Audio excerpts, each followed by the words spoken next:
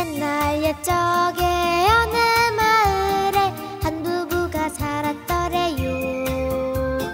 가난했지만 마음씨고 욕심 없는 농부였대요. 그러던 어느 날 갑자기 꿈속에서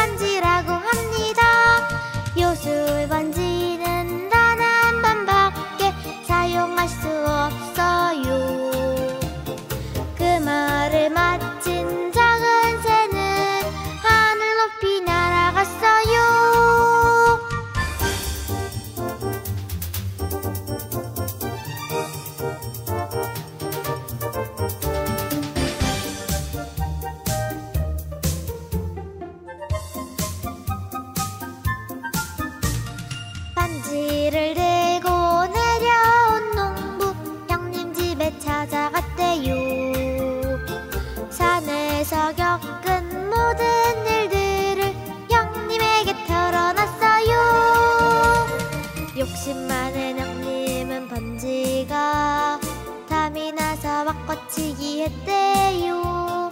집에 운동생 가짜 반지를 깊은 곳에